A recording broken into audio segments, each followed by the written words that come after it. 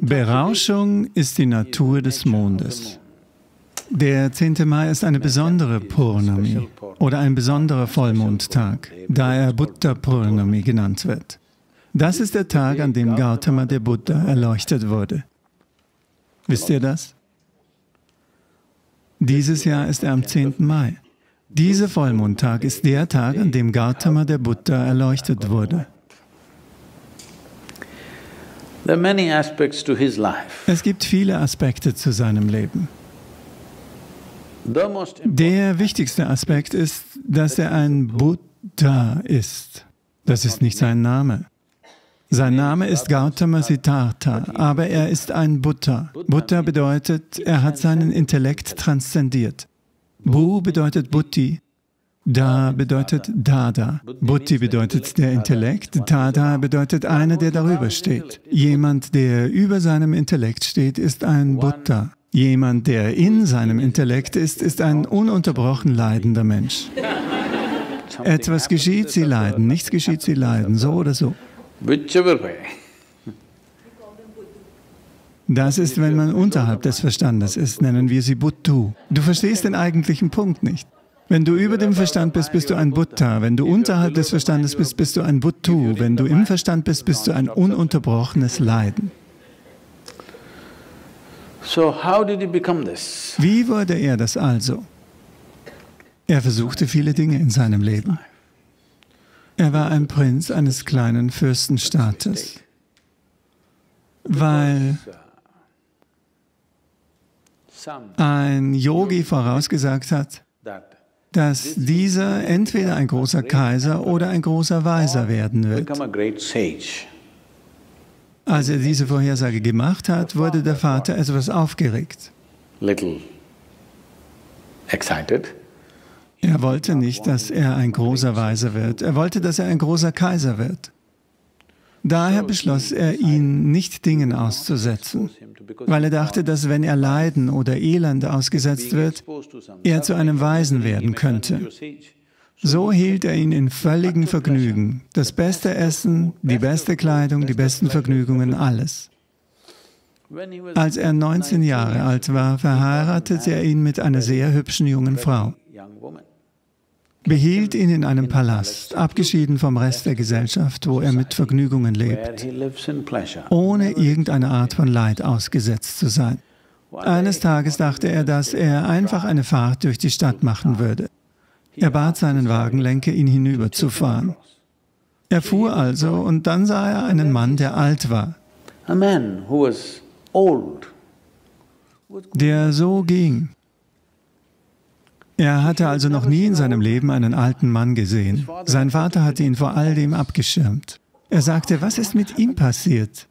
Der Wagenlenker, oh, er ist bloß ein alter Mann. Wie geschieht das? fragte er. Er sagte, jeder wird eines Tages alt. Er betrachtete sich selbst. Er war ein schöner Jüngling. Was, ich auch? Sagte, ja, jeder. Jeder wird alt. Sie leben lange genug, sie werden alt. Er, das war eine Erkenntnis für ihn. Ich werde so werden? Dann sah er einen Mann auf der Straße liegen, der an etwas erkrankt war, der nicht aufstehen konnte in großem Leid. Er sagte, stopp, was ist mit diesem Mann? Was tut er? Er sagte, oh, unglücklicherweise ist er krank. Was bedeutet das? Er sagte, ein Körper, manchmal wird er krank. Es kann jedem passieren. Es kann einfach jedem passieren. Mir? Einem Prinzen? Das kann mir passieren? Es kann jedem passieren. Dann sah er, oh, ich kann so werden. Dann fuhren sie weiter, er war völlig verstört. Dann sah er eine Beerdigung. Sie trugen den Leichnam eines Mannes. Was ist mit dem Mann passiert? Oh, er ist einfach gestorben, das ist alles. Was bedeutet das? Das passiert jedem, ohne Ausnahmen. Dann sagte er, was tue ich hier? Nur Essen, Vergnügungen, Unsinn, was mache ich mit mir? Und er kämpfte, er geriet innerlich in Aufruhr. Dieses Prinzendasein und diese Vergnügungen und dieser ganze Palast brachen für ihn plötzlich auseinander und er begann danach zu suchen, was der Sinn von all dem ist. Das hier wird altern, das wird krank werden, ganz sicher wird das tot sein. Wozu investiere ich mein gesamtes Leben in das? Aber da hatte er schon einen kleinen Jungen. Er sah seine Frau an und sein Kind. Diese liebevolle Frau und dieses reizende kleine Baby, er konnte nicht fortgehen. Er kämpfte und kämpfte und kämpfte. Bis dahin waren etwas mehr als eineinviertel Jahre vergangen. Als der Junge eineinhalb Jahre alt war, konnte er nicht mehr an sich halten. Mitten in der Nacht, wie ein Dieb, schlich er sich aus dem Palast, ohne jemandem was zu sagen und ging fort für immer. Er ging auf die Suche. Ich möchte die Wahrheit über dieses Leben erfahren. Er ging von Schule zu Schule. Das sind die Zeiten, in denen in Indien verschiedene Schulen eingerichtet wurden. Damals gab es über 1800 Schulen. Ich meine nicht nur Institutionen. 1800 verschiedene Arten, Dinge zu tun, 1800 verschiedene Arten von Yoga. Nicht die Art, die man in Kalifornien sieht. Jemand macht es so, jemand macht es so, wirklich komplexe Ausdrucksweisen. Es ist so, wie die medizinische Wissenschaft heute geworden ist. Vor 25 Jahren wolltest du eine medizinische Untersuchung machen lassen. Alles, was du brauchtest, war ein Hausarzt. Heute gibt es einen Arzt für jeden Teil deines Körpers. Vor ein paar Jahren hatte ich eine Knieverletzung. Ich spielte Fußball und ich brach mir etwas im Knie. Und ich war ganz eingepackt und habe Vorträge gehalten. So bin ich zum Golf gekommen, wegen dieser Knieverletzung. Jemand sagte mir, schenkte mir eine Golfausrüstung und sagte, Sadhguru, du bist zu alt für dieses andere Spiel. Du spielst einfach Golf. Ich saß also dort in Atlanta und habe geredet, an einem Ort gesprochen. Dann hatte ich Schmerzen, ich konnte mich nicht einmal bewegen. Also, nachdem, wenn das vorbei ist, ich meine, als ich sprach, hob eine Person die Hand. Ich dachte, er möchte eine Frage stellen. Aber dann sagte er, Sadhguru, ich möchte gerne dein Knie untersuchen, nachdem das vorbei ist. Ich bin ein Kniearzt. Ich sagte, kommen Sie schon, Sie sind ein Orthopäde. Er sagte, nein, nein, ich bin ein Kniearzt. Dann sagte ich rechts oder links. Was für eine sind Sie? Spezialisierung. Spezialisierung geht also voran. Wahrscheinlich wird in 50 Jahren eine Zeit kommen, in der man für eine medizinische Untersuchung 100 Ärzte braucht, um sich untersuchen zu lassen. Bis du diese 100 Termine bekommst, brauchst du vielleicht einen Bestatter. Maybe you need an undertaker. Dann wird es lächerlich. Okay, du bist zu drei Ärzten gegangen, in Ordnung. Du bist zu fünf Ärzten gegangen, in Ordnung. Wenn es 50 bis 100 Ärzte für eine medizinische Untersuchung werden, wird es lächerlich, nicht wahr? Dies geschah mit dem yogischen System. Menschen begannen sich zu spezialisieren und sich auf eine Vielzahl von kleinen Dingen zu spezialisieren. Jede Spezialisierung ist eine ganze Sache für sich. Jemand kam gerade und sagte mir, dass es Zahnärzte gibt. Okay, ich rede nicht in dieser Sache. Zum Beispiel Zahnmedizin, nur 32 Zähne, okay? Sie studieren neun Jahre. 32 Zähne, neun Jahre Studium. Trotzdem wissen Sie nicht alles darüber. Das ist die Beschaffenheit der Schöpfung. Wenn man einen Zahn nach dem anderen untersucht, wird man feststellen, dass jeder einzelne von ihnen etwas Besonderes an sich hat. Jemand kann ein ganzes Leben mit dem Studium verbringen, um etwas über einen Zahn zu lernen. Schau mal, ob du 32 Zahnärzte hättest, um in deinen Mund zu schauen. Eine Katastrophe wäre das, nicht wahr? Wo also Spezialisierung um Spezialisierung stattfindet, wird es lächerlich, wenn sie einen bestimmten Punkt überschreitet. Das ist beim Yoga passiert. Es überschritt diesen Punkt, an dem 1800 Schulen, verschiedene Spezialisierungen des Yoga entstanden. So war es, als Patanjali kam und gewissermaßen alles in die Yoga Sutras aufnahm, um diese endlos wachsende Ausdehnung zu minimieren. Als Gautama kam, war das nach Patanjali, Aber es gab immer noch viele Dinge. Also ging er von Schule zu Schule. Er erlangte acht verschiedene Formen von Samadhi.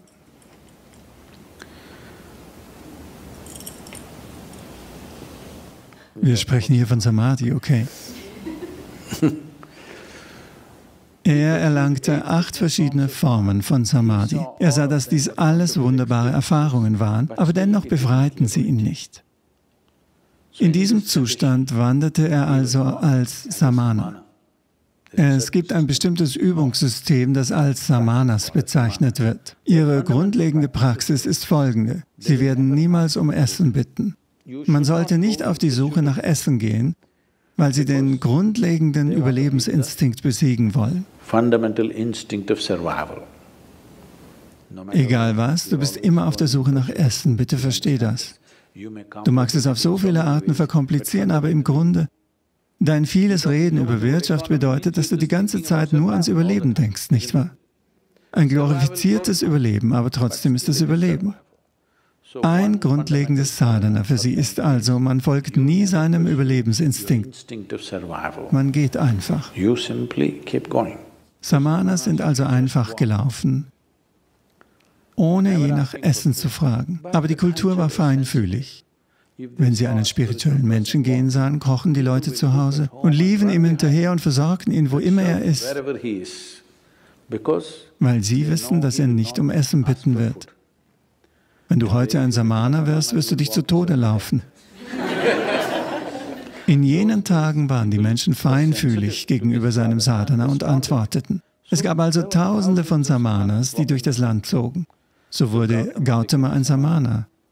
Und selbst wenn du nicht um Essen bittest, wirst du in der Nähe einer Stadt gehen, damit das Essen kommen wird. Aber Gautama nahm es zu ernst und ging einfach. Er war nur noch Knochen, nur noch Knochen und ein Sack Haut. So wurde er. Dann kam er an einem Ort, an dem es einen Fluss namens Niranjana gab. Leider ist dieser Fluss jetzt verschwunden. Kein Fluss mehr. Nur etwa 45 bis 50 Zentimeter Wasser, das sich vielleicht etwas schneller bewegt. Er trat hinein, auf halbem Weg in den Fluss, für dessen Überquerung er keine Kraft mehr hatte. Da war ein Baumzweig, ein toter Ast. Er hielt sich einfach daran fest. Er hat nicht die Kraft, den nächsten Schritt zu tun. Aber er ist nicht die Art von Mensch, die loslässt. Er hielt durch. Wir wissen nicht, wie lange. Die Leute sagen für eine sehr lange Zeit. Vielleicht waren es zwei Minuten. Wenn man sich so schwach fühlt, können diese zwei Minuten wie viele Jahre erschienen sein. Dann, als er sich wieder festhielt, erkannte er, was ist es, wonach ich strebe? Warum wandere ich durch das ganze Land, gehe von Schule zu Schule, lerne dies, lerne das? Was ist es, wonach ich suche? Dann erkannte er, es gibt wirklich nichts. Dieses Leben ist an. Alles, was ich zu tun habe, ist nur die Barrieren zu beseitigen, die mir nicht erlauben, dies zu erfahren. Als er erkannte, dass alles in ihm ist, dass es keinen Weg zu suchen gibt, hatte er plötzlich die Energie, den nächsten Schritt und den nächsten Schritt zu tun. Er überquerte den Fluss, kam und setzte sich unter dem inzwischen sehr berühmten Bodhi-Baum nieder, der berühmter geworden ist als der Buddha selbst.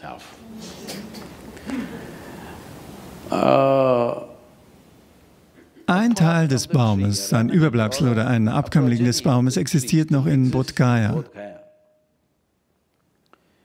Und er saß unter dem Baum. Es war in dieser Vollmondnacht, die jetzt auf den 10. Mai fällt.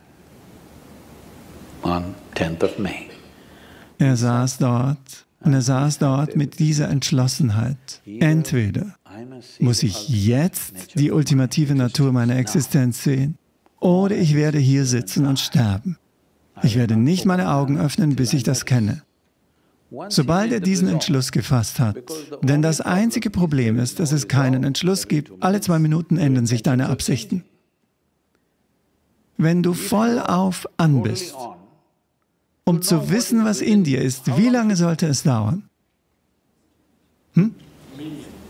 Es sollte in einem Augenblick passieren, nicht wahr? weil es keine Entfernung zu überwinden gibt. Zeit ist eine Größe, die nur dann notwendig ist, wenn es eine Strecke zu überwinden gilt, nicht wahr? Wenn es keine Entfernung zu überwinden gibt, wenn ich dich frage, wie lange es für dich dauert, hier zu sitzen, du sitzt schon, es ist schon da. Es braucht keine Zeit. Du bist also bereits lebendig und an. Es braucht keine Zeit für die Verwirklichung, weil du nichts Besonderes tun musst. Als er das sah, war er voll erleuchtet und der Mond schien. Und er hatte viele Monate lang nichts Richtiges gegessen. Jahre eigentlich. Vier Jahre lang war ein Samana. Und die Leute um ihn herum, ich glaube, er hatte etwa fünf Schüler um sich geschart. Diese Männer dachten, er sei echt, weil er nicht ist. Er ist wirklich hart. Und sie sahen, dass er in einem Zustand war, in einem überschwänglichen Zustand, und sie konnten das Licht auf seinem Gesicht sehen. Dann warteten sie darauf, dass er seine Augen öffnete und die Lehre erteilte. Er öffnete seine Augen, sah sie an, lächelte und sagte, kocht etwas, lasst uns essen. Sie waren völlig enttäuscht. Sie dachten, er hat die Orientierung verloren. Sie gingen mit ihm vier bis acht Jahre lang, als er nichts anderes als Qualen hatte. Als er erleuchtet wurde, verließen sie ihn. Weil sie etwas Strenges hören wollten.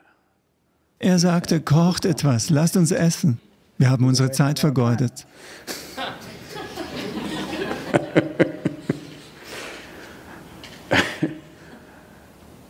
Es gibt viele schöne Episoden in seinem Leben. Als er eines Tages am Flussufer entlang ging, nachdem er ein Buddha geworden war, und sich unter einem Baum niedersetzte.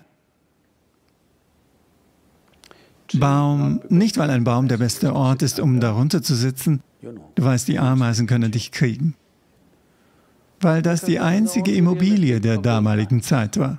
Es gab keine Gebäude und Gebäude und Gebäude überall. Ein Baum war also ein guter Ort, ein angenehmer Ort, um darunter zu sitzen. Besser als in der prallen Sonne zu sitzen, sitzt man unter einem Baum. Ein Astrologe,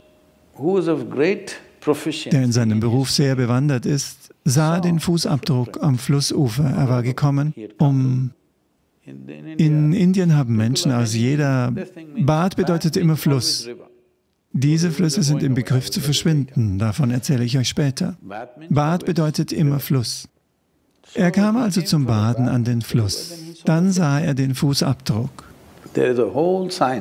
Es gibt eine ganze Wissenschaft oder vielmehr Beobachtungen, durch die jemand anhand der Art, wie die Füße eines Menschen sind, genau vorhersagen kann, was er tun wird.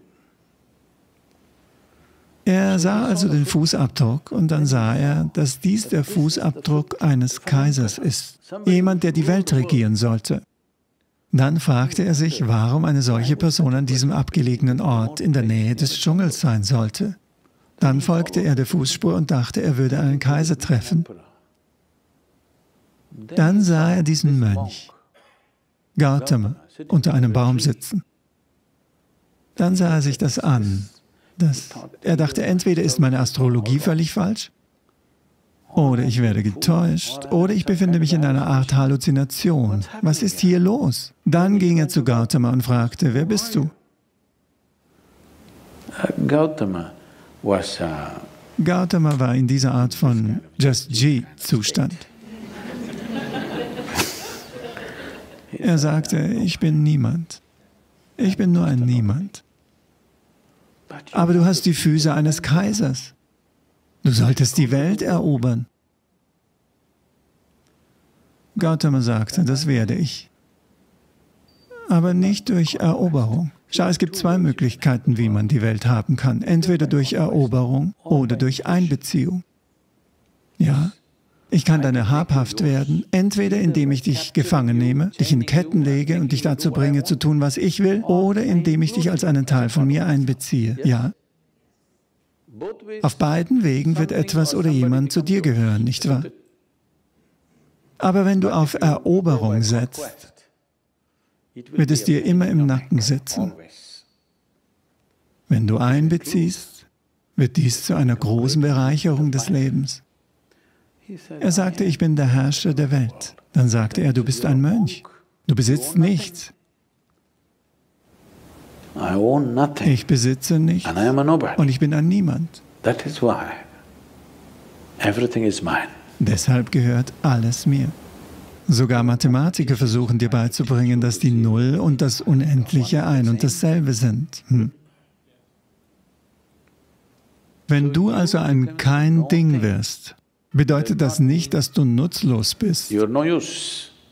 Du bist ein kein Ding. Das bedeutet, du bist alles einbeziehend geworden, nicht wahr? Du bist ein etwas, bedeutet, dass du nur das sein kannst. Du bist ein kein Ding. Du kannst sein, wie immer du willst. So ist dieses Leben gemacht. Wenn deine Fähigkeit zu antworten nicht eingegrenzt ist, kannst du alles sein, was du dir in jedem beliebigen Moment wünschst, nicht wahr? Deshalb sagte Gautama, ich bin sowieso der Herrscher der Welt, wenn du dieses Wort magst. Aber ich bin eigentlich ein Niemand, weil alles ohnehin mir gehört.